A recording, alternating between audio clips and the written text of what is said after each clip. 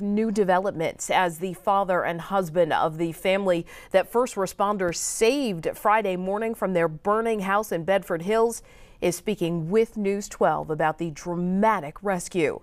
Jade Nash brings us his story.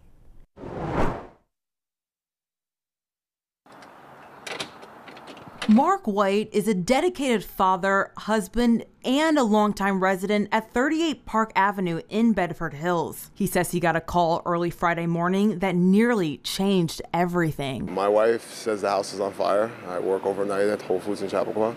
So I left work. I called 911. I did about 115 on the highway, told them I was speeding, come into my house, it's on fire. The fire is the reason for this dramatic rescue. The body cam footage released by Bedford Town Police shows first responders saving White's wife and his two young sons, ages 9 and 10, one of which has special needs.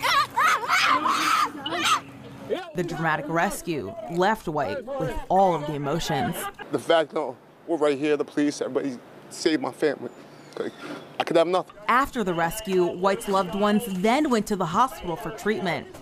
Luckily, he says everyone is stable. They should be getting discharged today. And in between running back and forth to the hospital to visit them, White says he has to deal with what's left of his house. He took us inside to show us some of the damage. As you can see here, many of the family's belongings got burned in the fire years and years of you know memories. White says it will be a good three to six months before his family can move back in you know, it's not going to be easy. I know that for sure, but we'll get through it.